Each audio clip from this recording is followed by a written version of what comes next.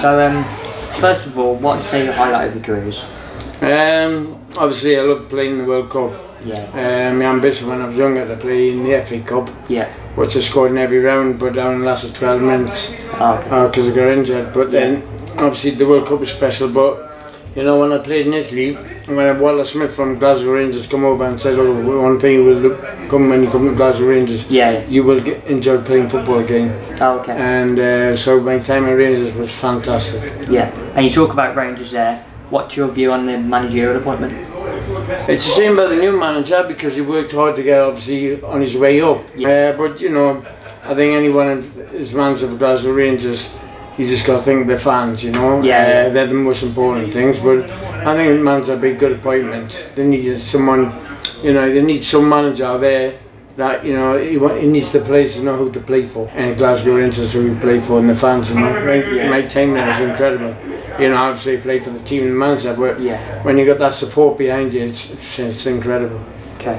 And I'm an Aston Villa fan myself, and there's been a lot of speculation involving Jack Grealish going to Tottenham. How do you think he'll do if he does go for it? Um, I mean, any player goes anywhere, you know, it's like if a player wants to leave a club, then let him go, you know, but uh, a great player.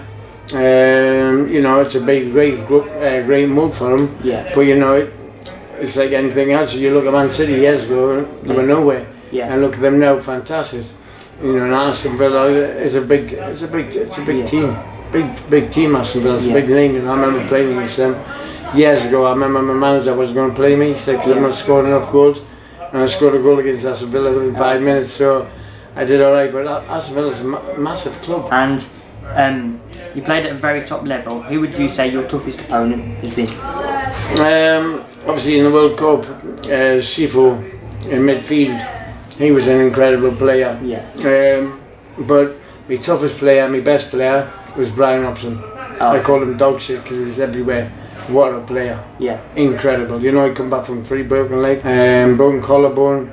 And, you know, when I joined England, he said, oh, I'm coming here and create your story and career, leave everything to me. I'll Yeah. do all the tackling and give you the ball and playing. For someone like him, um, we don't have that at the moment, you know. Yeah. You know, um, but what an unbelievable player. Who would you say your inspiration was when you were?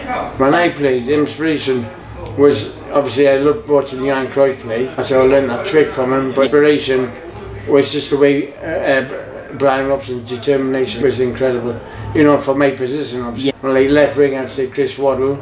Uh, behind the front two would be obviously Shearer. Yeah. I mean, uh, Peter Beardsley and Shearer up front, obviously with Lineker. But for my position, there's no better than Brian Robson. Yeah. That's why they would call him Captain Marvel. Unbelievable. And um, you have a lot of mixed views on Italia 90. How can you compare it to England's 2018? 2018. I didn't watch much of it because I miss football still, even in my age, uh, really badly. But I just, I said to Shane, I said, the England still against Croatia Yeah. because um, the midfielder, what's his name, Djokovic? No, what's his name?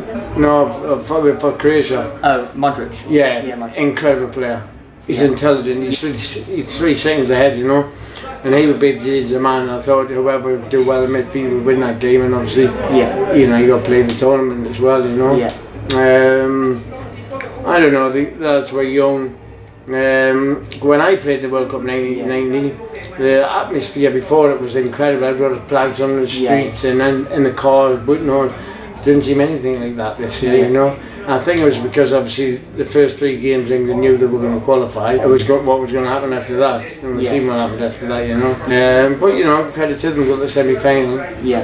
Um, you know, but the, these players can only get better. They're only young, you know. But I was there when I was 23, and I was doing one of the best players in the world. So it's up to them, you know. The, the um, we've got to forget about it now. And now concentrate on Euro, the next Euro, European champion, Yeah, yeah. Championship, and then the World Cup after that. But we keep saying the problem. The problem we have Yeah. every time we go into, it, we keep thinking we, we should win it. And it's not the case. You know, we only won it once in 1966. And finally, how do you think you would get on in today's England starting 11?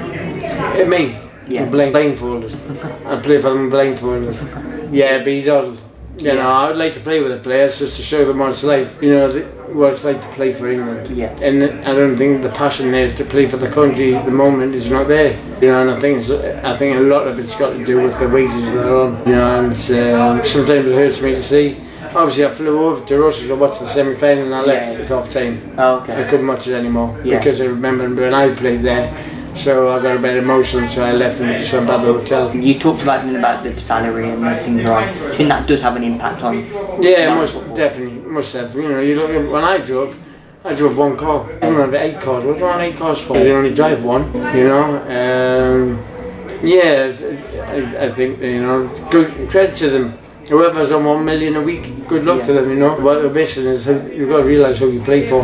Yeah. I played for the fans. Because it was the fans that paid for my way. Okay, well, thank you for your. Yeah, thank you, mate. Thank you. been If you enjoyed that video, why not watch another? Click here to watch them in full. Also, subscribe if you're new so you can follow my journey to the media world.